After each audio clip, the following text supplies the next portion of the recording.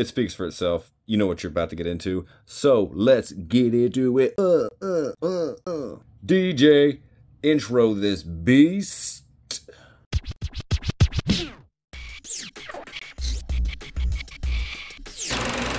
Everybody, welcome back. We're doing this yet again.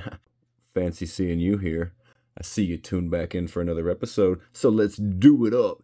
Deadpool and Bobby. So let's go ahead and jackknife off the high dive and get into this thing. Yeah. Bob. This is Bob. I don't know Bob. I've never heard of Bob. But I like Bob. Bob is nice. Bob is fun. I know Bob is a Hydra soldier. I know Bob has a really awesome smirky grin. And he looks like Dragonfly. Crap. So I've had a few days to mess around with Bob here for a little bit. And gotta tell you, the fun factor of this fella is up there in terms with Spot. Any goofy, over the top, flamboyant, almost even exaggerated, extremely characterized poses, uh, any accessories you want to put with them, like the fun factors with them are really, really up there. If you got Vulcan, if you got Black Panther, if you have a few other figures that have already come on this body, you know what to expect the articulation aspect and what you got going on here. You know, he does come with a little bit of added details. If you can notice that he has some buttons now and the buckles are actually lined out. Pretty sure uh, Robo over at the Fwoosh is happy with that one. Bob is just fantastic. So whenever the two-pack first got announced, I was like, that of all people is the person that you're going to put with Deadpool in a two-pack? Whatever. Anyway, I don't know if they ever teamed up in a comic or any kind of thing like that. I don't follow Deadpool like that. Sorry. I ended up liking him way more than I thought I was going to. I was going to try and sell him off, and yeah, I ain't doing that. He is going to have a permanent place in my display over yonder. But anyway, since everybody knows this body is, I'm not going to waste time going over the articulation. I'm just going to hit up some sweet poses here coming up. Follow up. And scene. Meeting adjourned. As for accessories, Bob over here comes with a sweet P90X with a little bit of a green paint job and some black thrown in on there. Just check that out. Bob here also comes with a MAC 10 painted green like an army man's gun. That is sick. Boy. Bobby here also comes with an assassin's briefcase. Let us take a look at the contents, yeah? Here are the contents. There seems to be some devil suckers, a little flaccid banana, and what looks to be und thermos with the word Bob written on it. Mmm, how great for an assassin. Mm. Bob doesn't come with too many pair of hands, but he does come with two nice booger picking fingers. The only other hands Bob comes with are two reasons why KY jelly is needed for prostate exams. But bam! But Bob is just so fun, man. Like, he can just get down with the getting down.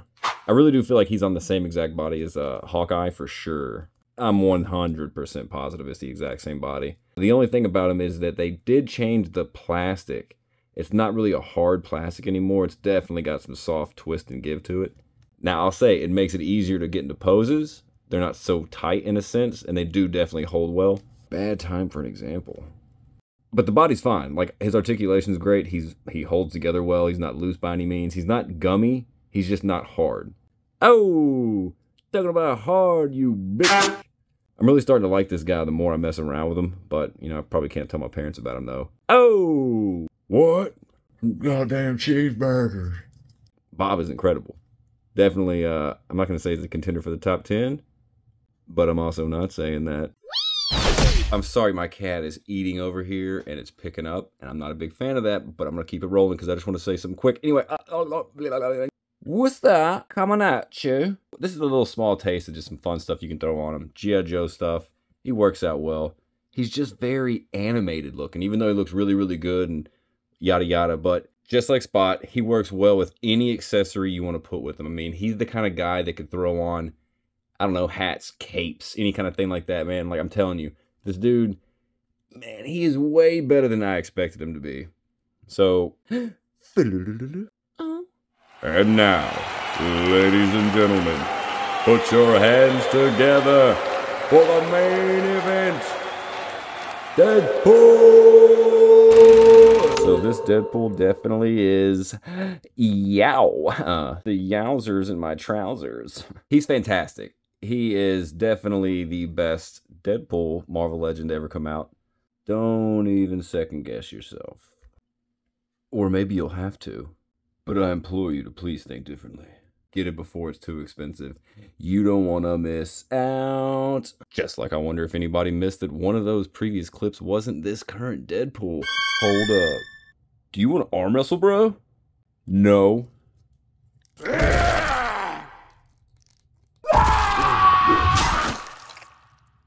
Accessories. First, we got cocked, locked, ready to rock. Mr. Wilson here also comes with a nice pair of balled up phalanges. Deadpool also comes with a pair of young lover's hands. Oh, oh, Deadpool. Oh, wait. Oh, oh, wait, what? Let me hold your fingers. Oh, no. So, Wade also comes with this hand here, and it looks like it could hold something maybe tubular, cylindrical, in some sort of a nature.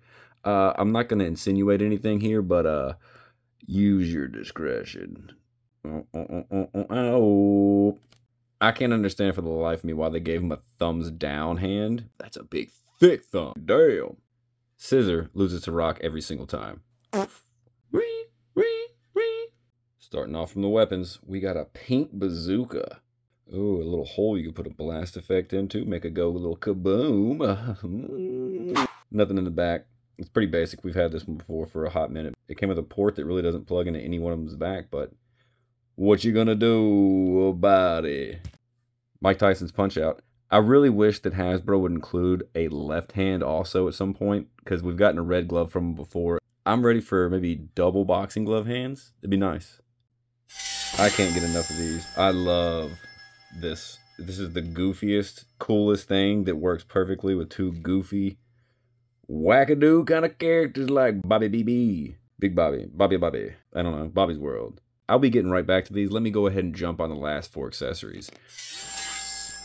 Let me preface this by saying that I have not seen anybody's review for this figure yet. If I'm going to review a figure, I'm not going to watch anybody else's. I don't want to have any ideas taken or thought of or any kind of stuff like that. So if this has been found out, I guess I'm late to the game or whatever it would be, but we have a purple staff. We have two orange nunchucks. We have two red sais. We got ourselves blue swords. So hear me out, okay? Deadpool killed the Teenage Mutant Ninja Turtles, and he took their weapons as trophy for his accomplishments as he was time jumping through different universes and stuff. In Guardians of the Galaxy 3, when High Evolutionary is explaining to Rocket and showing him how he takes a turtle and makes it into a humanoid creature, that was James Gunn showing Teenage Mutant Ninja Turtles his way. He even went so far as to have Bebop in it as the character of Warpig.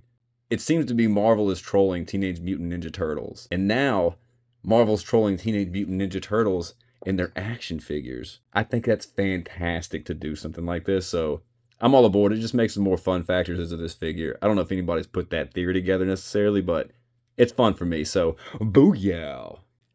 And now it seems that Marvel's trolling Star Wars with these. I mean, these seriously look like the KB toy knockoff lightsabers you would have back in the early 90s. And you know what? I'm all for this too. Sign me up for anything you want to try and cross over lines of or give nods to different, I don't know, figure lines you don't own the rights to and stuff, even though Hasbro does own the rights to Star Wars. You get what I'm saying. But anyway, there's a lot to unpack with Wade, so let's just go ahead and skip articulation for the most part. Let's go ahead and just say that he definitely is the 100% picture perfect, comic accurate version of Deadpool. And what better body to put him on than the Renew Your Vow Spider Man? I mean, he made Daredevil fantastic. He makes every figure a little bit better.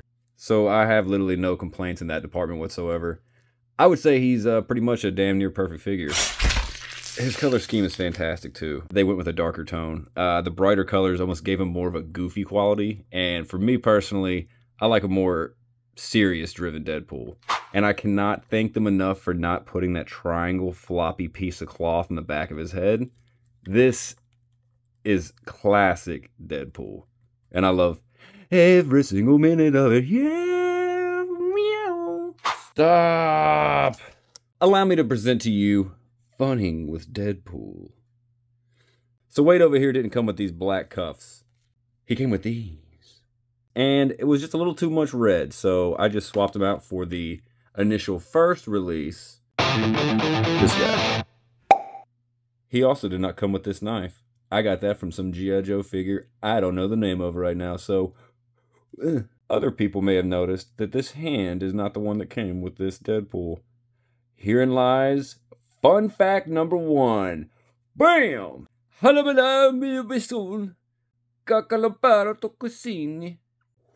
Everybody knows Captain America, don't they? Yeah, they do. Maybe if you have this figure, you should try something out. All I'm trying to do is give everybody ideas and options on how y'all can increase the fun factors on these already amazing figures. The red of Captain America's gloves, well, they're the same red as. Oh, is that right? Oh, bunny ears. Oh shit, too far back. Same exact color. So now you have all the crazy Captain America hands. They can go on Deadpool. You're welcome. That man's hitting him with the bunny ears. Oh my goodness. Damn. Uh, I'm having too much wood of a time with that. I used his hand in the beginning of the video because it just looks so sick. I couldn't open my video without using that hand for some reason. But all his hands work. I mean, they literally are all the same color. And he already comes with four pair of hands. Now you have the extra three that came with Captain America that are all different pointer fingers, saluting and all that kind of stuff, grabbing hands. But let us not forget, not only do you have all these hands for Deadpool, now you have all these hands for Captain America. Yes. I'm gonna bust justice in the lips. All the Deadpools are pretty much highly articulated to themselves.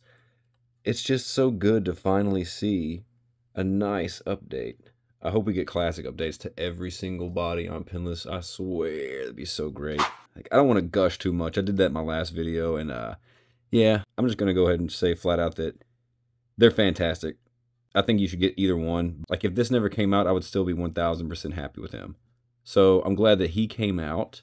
I just hope this gets to the right people who actually care about making awesome stuff a little bit more awesome. But anyway, I'm so excited to finally have him. He's fantastic in every way. Videos to come for sure. Check out my shorts. Uh, follow me on TikTok. It's Fun is Offensive. All kinds of videos and stuff there. A lot of the stuff I can't post on YouTube, I post there. Listen, people, I just like to have fun with my action figures and get the most I can out of them. And if I can share this with people and they think it's cool and they want to utilize this with their own collections and figures and stuff, well, by all means, go for it. If no one wants to do it, I'm at least showing off what I like to do because this is the only thing that I do on this channel is have fun. And uh, you're welcome to have fun with me and you're welcome to my ideas. And if you like them, take them. So shout out in the comments below. Did you find anything so far in this video useful? Are you going to utilize anything you've seen? Let me hear from you. Final thoughts. Exquisitely masterful craftsmanship of fine action figures in a 6-inch form. Hasbro, congratulations. You knocked it out of the park again. Thank you, everybody, for listening to me gab on and on about these two badass sons of bitches here. And as always, tune in next week for another exciting episode of Fun is Offensive the most cliche dance move in film history.